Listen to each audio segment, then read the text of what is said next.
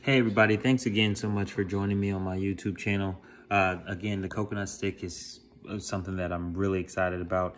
Um, in today's video, I'm going to be talking about how you can pretty much increase your career uh, and what you should be looking to do getting the most out of your career. So when we think about career, you know, we've got to think about the most important things like uh, do we enjoy doing it and why we do it, right? And for me, I'm in sales, so some of the most important things for me why I've chosen this career path is to eventually make enough money to remove myself from corporate America.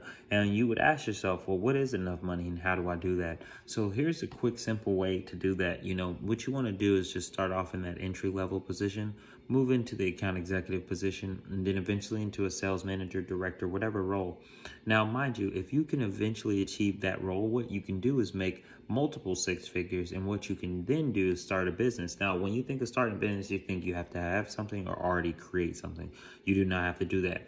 Start a business, start an LLC, and put manufacturing. Under that manufacturing, you actually don't have to manufacture anything. You actually don't have to have product or produce or, or produce anything on physical paper um, to show your business is running. But what you can do is start to create net 30 accounts to cr- create business uh, credit under your LLC. And then once you have business credit under those uh, net 30 accounts in 30 to uh, 90 days or 60 to 90 days, you'll then be able to leverage taking out a business loan to then manufacture or go to the bank and say why you would need that loan. And what I would advise is is purchasing assets such as real estate or purchasing assets that are going to actually have some type of transactional return on them.